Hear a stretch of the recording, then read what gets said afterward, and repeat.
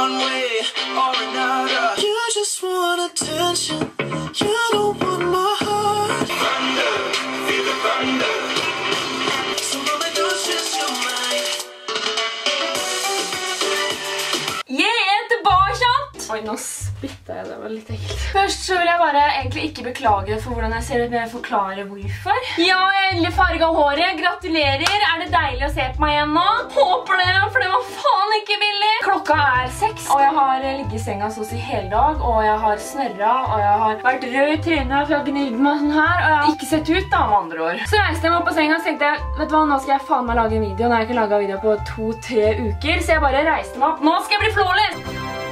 Jeg, ikke sant? Så da valgte jeg en foundation som jeg egentlig ikke pleier å bruke, fordi at jeg ville ikke sløse bort den foundation som jeg pleier å bruke når jeg går ut i offentligheten. Så da tok jeg en foundation som var veldig oransje da. Så tenkte jeg, men gud hvis jeg bare fikser filtrene på kamera, eller i redigeringsprogrammet, så er det ingen som ser det. Eh, det hadde dere gjort, for å si det sånn. Sånn som en appelsin. Så tenkte jeg, ja, ja, hvis vi bare contourer litt her, så klarer vi å balansere det på en viss sett. Tok på litt babypudder, så jeg ble litt hvitere. Satt på bryna. Bryna så ut som to gigantiske kongesnegler begge to, så det var fuck det her! Dere har sett mandagsvideoen min. Jeg tok to våtservietter og bare fuck det! Jeg har også en veldig dårlig hårdag, derfor caps og hette egentlig, men jeg føler meg veldig kvelt med dette her, så jeg lurer på om vi går for det her. Men yes, folkens! Jeg er tilbake, tror jeg. Jeg har eh, litt, vibe om at det begynner å gå litt tilbake. Vet ikke helt hvorfor, men jeg tenkte at fuck det, jeg savner dere, og jeg vil tilbake.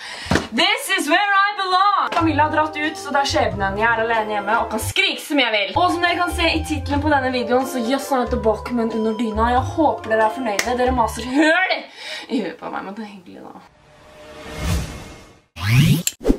Første spørsmål, hva er sopp, og hvorfor får man det? Og ikke, tro at jeg er noen sånn helsesøster her, fordi jeg har Google, jeg har googlet litt, og det er fordi at jeg vil google for dere, hvis dere ikke vet hvordan man bruker Google selv, og hvis dere lurer på hvordan man bruker Google, så går dere på google.com, eller no, og så kan dere skrive hvorfor får man sopp. Det er det jeg har gjort, og her har jeg svaret. Så tenkte jeg at hvis det er noen som sliter med å lese, så skal jeg gjøre det for dere. Hos de fleste kvinner er soppinfeksjon i underlivet forårsaket av en gjærsopp som kalles Candidada albicnacala. Candidata er vanligvis ufarlig, og den lever naturlig på kroppen din. Altså, du har sopp liksom, fra før av på kroppen din. Men noen ganger så kan det føre til at du får litt mer av denne soppen her enn hva du egentlig produserer selv. Altså det går betennelse da, på en måte, i den soppegreia, sånn at du får sopp. Det er ikke farlig. Du drar på legevakta, tenker på legevakta. Du drar til legen, og så får du antibiotika, så er det bare gone, liksom. Jeg er 12 år, har ikke fått mensen enda, og vi er syv jenter i klassen. Fire av de har fått det, og jeg har så lyst. Hvordan kan jeg få det?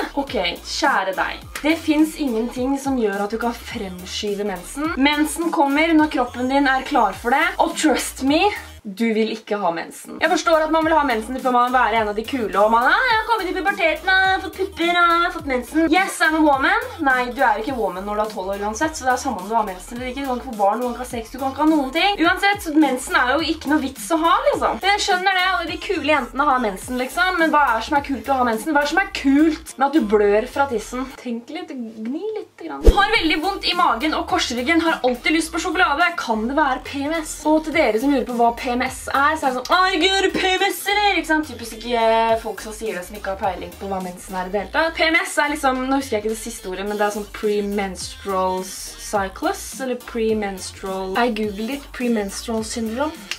Som vil da si at du kan ha hormoner som går sånn Vondt i korsryggen og cravings på sjokolade er ganske fine, flotte symptomer på at mensen is about to say hello.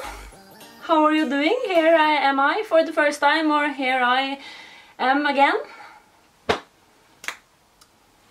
Nå begynner livet ditt. Så er det jeg som lurer på hva man skal gjøre hvis man skal ha sex for første gang. Det man burde gjøre før man skal ha sex for første gang, det er å være 100% sikker på at dette er det jeg vil. Jeg har hatt utallige samtaler med flere jeg kjenner om dette her, og jeg blir veldig hønemor. Men greia at når jeg hadde sex første gang, så var jeg sammen med en kjæreste jeg hadde vært sammen i ett år. Det greia at du husker første gangen din forever and ever. It never disappears from your mind. Så det er veldig viktig, synes jeg da, personlig synes jeg, at hvis du skal ha sex for første gang, så burde du være 100% sikker på at du vil ha sex. Fordi at det er veldig mange som tenker sånn, ja, jeg vil bare get it over with, liksom. Eh, så jeg har bare sex på fylla, og så er det ferdig, og så er jeg klar for å kjøpe det rundt omkring på alle fester sånn. Ja, så mitt råd er å være 100% sikker selv, og partneren din da, of course. Husk kondom, protection er veldig viktig også.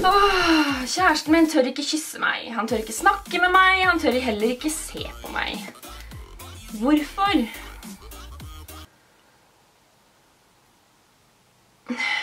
Altså. Hvorfor er man kjærester, egentlig da? Spør jeg da. Jeg lurer på det, egentlig. Fordi kjæreste er jo som en uh, beste venn. Altså, han tør ikke se på deg. Altså. Er det greit å lyve om at man syns gutter er kjekke, selv om man egentlig liker jenter? Altså, of course, herregud. Hvis du ikke føler deg klar for å si hva slags kjønn du liker, eller whatever, det spiller jo ingen rolle, det. Altså, det er ingen som sier at nå må du si det og det. Så of course, ikke stress med det. Bruk den tiden du trenger. Det er sikkert godt da, for deg å kunne ha i hvert fall én person, enten om det er en forelder eller en beste besteforeldre, onkel eller tante eller helsesøster eller en bestevenn og bare fortelle dem hvem du egentlig er da. Det haster ikke i det hele tatt. Ingen, ingen, ingen, har behov av å vite det. Prøv å finne én person da, som du kan stole på, og som du ikke er redd for at skal si det videre, lalala, hvis du ikke er klar for å være åpen om det da. Er 13 år, og alle på trinnet mitt har begynt å få pupper, men ikke jeg. Når begynner de å vokse? Jeg fikk min første pupp. Ja, jeg hadde én pupp i slutten av 7. klasse. Den andre ville ikke. Den hang litt etter. Det merker jeg den dag i dag, for venstrepuppen min er mye mindre enn den høyre. Jævlig irriterende, men sånn er det. Sånn er jeg.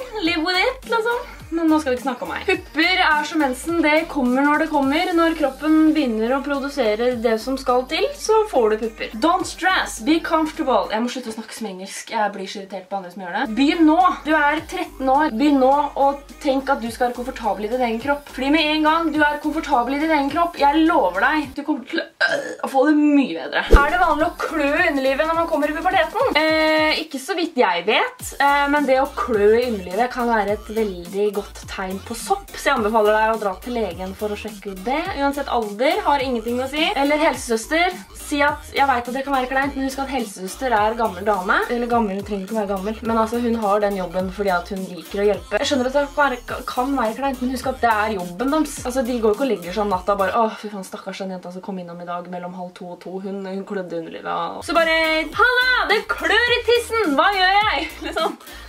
Dette er lettere sagt enn gjort, men eh, det er faktisk ikke så pinlig som det du tror det er da. For en helsesøster, hun bryr seg ingenting. Ikke lege heller. Hva synes du definerer utroskap? Flørte med andre, kysse andre, ligge med andre? Hvor går din grense? Dette er jo egentlig noe som er veldig individuelt, og jeg bruker individuelt i alle disse videoene her, for det er jo mye som er individuelt. Men min grense da, min personlige mening er når en person begynner å gjemme ting for deg. Hvis personen kan sitte og flørtetekste med noen, eksempel. Jeg vil ikke si at det er utroskap, men jeg vil si at da da er du i gang med noe greier. Og hvis noen jeg dater eller er sammen med kysser en annen jente på munnen, da tar jeg først tak i håret, og så drar jeg det ned.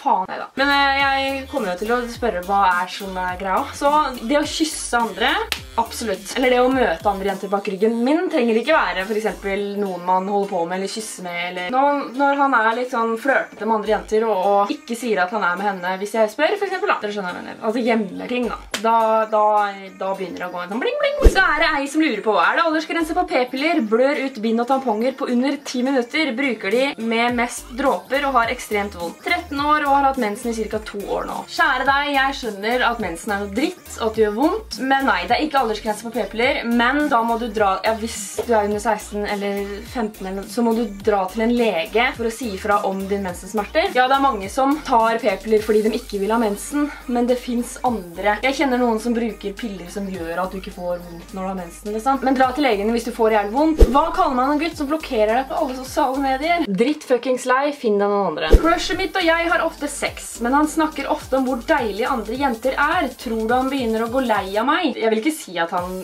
går lei av det. Altså, nå kjenner jo ikke jeg den dyden her da. Men så, altså, jeg synes det kan være gøy å sitte med min my man, liksom, og diskutere hvordan andre jenter ser ut, eller gutter ser ut, eller oi, hun hadde fin rumpe, eller han Og det her har jeg sagt til han at jeg synes er gøy. Ja, bare, jeg tror du hadde blitt litt sjalu ja, om jeg hadde snakket sånn. Men jeg synes at det kan være det, det, er sunt. Altså, det betyr Altså, vi lever i en verden med 148 millioner, ikke sant? Og det er jo milliarder, eller kunnskapene mine er ikke helt på plass. Men det finnes alltid noen der ute som er flott og som man er sjalu på eller whatever. Men det her er jo noe dere må snakke om dere imellom. Eh, for hvis dere er et par, liksom, så er det jo liksom greit å si fra at jeg liker ikke at du sier sånn. Det er greit at du syns andre jenter er deilige også. Hallo, det Jenter også ser jo på gutter eller andre jenter som de også syns er fine, liksom. Det betyr ikke at de vil gå og ligge med dem for det. Men det er noe du er nødt til å snakke med han om og si at jeg liker ikke at du gjør det. Jeg setter pris på at du ikke gjør det, liksom. You got to tell him that. Kan kondomer falle av inni vaginaen? Yes!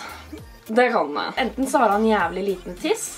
Altså, Det er ikke noe gærent å ha liten tiss, men det kan være grunnen. Men at den sitter fast inni deg kan også være et godt tegn, for det betyr jo bare at du er liksom fit for fight, holdt jeg på å si. Men det er absolutt ikke farlig, så ikke vær redd om det skjer, liksom. Jeg lurer på, hvis man tar p-piller, så stopper det mensen, ikke sant? Som regel, ja. Men hva med hvis man slutter med p-piller? Kommer mensen tilbake da? Yes, det gjør det. Det tar ca. en ukes tid-ish. Kommer litt an på. Så er mensen tilbake. Men greia er at de anbefaler deg at du ikke går opp og ned. liksom Start med p-piller, slutter, starter, slutter, starter, slutter. Fordi at p-piller har jo bivirkninger som gjør at du blant annet kan få blodpropp. Der står jo i bruksanvisningene på alle p-pillene. Og greia er at bivirkningene er eh, kraftigst i det du begynner med p-pillene. Så da på en måte øker du sjansen for å kunne få blodpropp, da, hvis du forstår hva jeg. Spør for en venninne. Jeg er en 16 år gammel jente som stinker nedentil. Hva skal jeg gjøre? Dusjer fire ganger i uka og vasker meg ikke med såpe nedentil videre, fordi jeg har hørt at det ikke er bra. For det første så finnes det en underlivssåpe, altså Dr. Greve annet, eller Intimvask er det vel også en som heter, som man absolutt kan bruke. Men det de sier, at, som jeg sa i stad, tror jeg nevnte i stad, er at hvis det lukter vondt og hvis det klør, så kan det være tegn på sopp. Så jeg anbefaler at du eller ber henne venninna di dra til legen. Det var videoen, folkens. Jeg håper virkelig at dere likte den. Jeg har slitt mye med å spille denne videoen her. For jeg merker at det er ikke min dag i dag, men jeg håper at det ikke har syntes så alt for godt. Jeg kjenner at YouTube er veldig hardt å starte med igjen, men at det også er litt gøy. Jeg vet ikke helt, jeg må kjenne litt på det utover dagen, tror jeg. Men gi meg bare, bare å være litt tålmodig med meg nå i starten. Så håper jeg at jeg er tilbake så raskt som mulig. Bare please, jeg ber dere om en ting, og det er å ikke mase på meg om når neste video kommer. Jeg ber dere. Men jeg håper i hvert fall at dere likte videoen. Hvis dere gjorde det, gi den en tommel opp, og så snakkes vi i neste 视频这种黑洞